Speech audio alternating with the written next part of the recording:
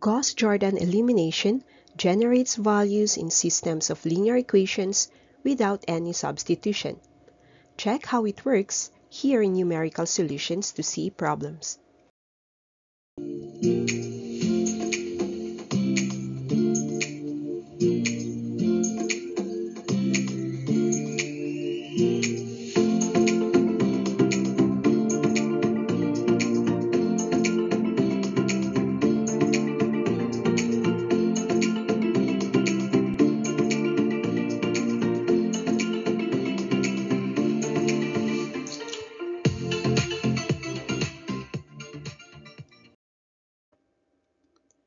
A reduced row echelon form is created for Gauss-Jordan elimination. That is, the main diagonal elements are valued as 1, but all the other coefficients are 0. Again, take note that the first column is x, the second is y, and the third column right before the bar is z. Although this method takes a little longer to complete, it is easier to identify the variables after. If we focus on the first row, we get 1 times x is equal to c, which can be simplified as x equal to c. The second row shows 1y is equal to d, or that says that the y value is d. And the third row is equal to e, simplified as z equal to e. Let's have an example to apply the concept. With the following equations, 3x less 9z is equal to 33.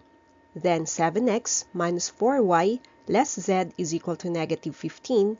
And 4x plus 6y plus 5z is equal to negative 6. Let's look for the values of x, y, and z using Gauss-Jordan elimination. We start by converting the equations into an augmented matrix, where coefficients are separated from the constants. Then we proceed with the elimination by creating a pivot element placed at element A 1, 1. In this case, we choose the first row to be the pivot row 2, and then we create 1 for the first element. That can be done by dividing the whole row by 3. So take 3 divided by 3 to have 1. 0 divided by 3 is 0. Negative 9 divided by 3 is negative 3. And 33 divided by 3 is 11. Those are the new values of the first row, but the rest remains the same. Next is to zero out all the other elements in the first column, and we start from element 2, 1. The pivot element's job is to zero out the other elements in its column. So by comparing elements, we can devise the formula for the row update. In this example, we use row 2 minus 7 times row 1 and have this as the new row 2. So for element 2, 1, 7 minus 7 times 1 is equal to 0. Element 2, 2 is negative 4 minus 7 times 0 and it is equal to negative 4. Then for element 2, 3, we have negative 1 minus 7 times negative 3 as 20. And the constant element is negative 15 minus 7 times 11 gives negative 92. Now we can also zero out the last element from the first column, and we can use the formula row 3 minus 4 times row 1 for the new row 3. Element 3, 1 gets 4 minus 4 times 1 to have 0. Element 3, 2 has 6 minus 4 times 0 giving 6. The next element A33 has 5 minus 4 times negative 3 simplified as 17. And the constant is computed as negative 6 minus 4 times 11 showing negative 50. We are off to work on the second column. From the updated elements, we need to find the pivot element but do not need to zero out element 1, 2 as it is already 0, so it cuts the work a little shorter. In determining the pivot row, we can choose between rows 2 and 3. If we look closely, we can see that row 2 can actually be reduced as all non-zero elements are multiples of 4. so that is what we are going to do. Let's simplify row 2 by dividing it by negative 4. With element 2, 1, we compute 0 divided by negative 4 but still have 0. Element 2, 2 will be negative 4 divided by negative 4 to get 1. Then element 2, 3 next, showing 20 divided by negative 4 resulting to negative 5. Then, to complete the row, the constant has negative 92, and we divide this by negative 4 to give the updated constant positive 23. Now zero out the remaining elements in column 2, as we have only element 3, 2. We can do this by taking row 3 minus 6 times row 2 for our new row 3. So for element 3, 1, we have 0 less 6 times 0, giving 0. For element 3, 2, we have 6, then we subtract 6 times 1 to end up to 0.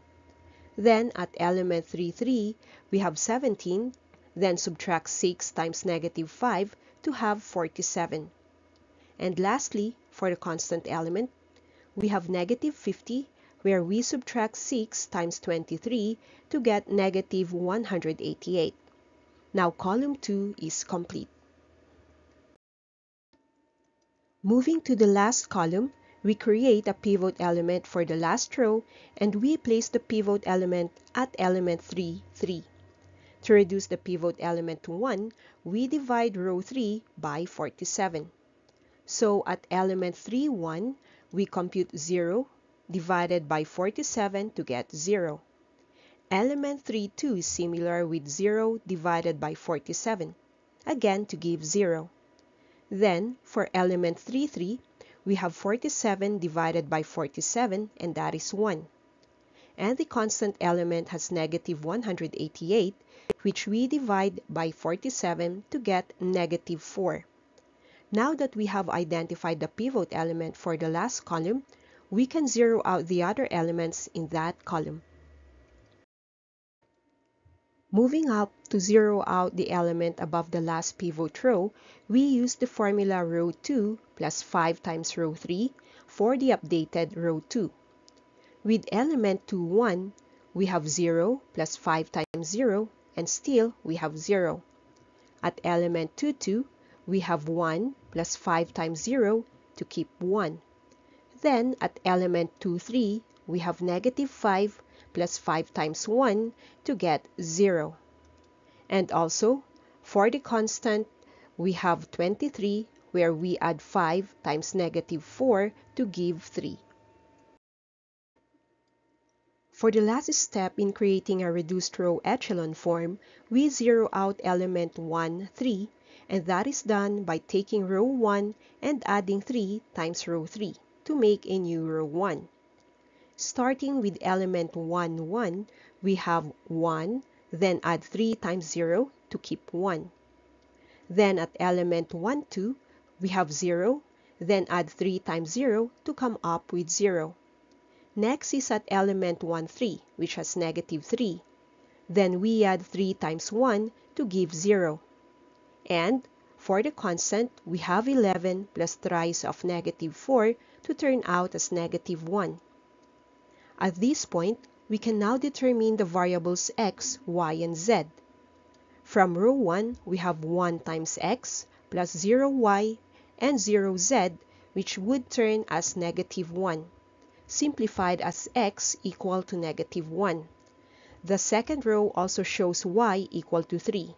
Then, the last row has z, which is equal to negative 4.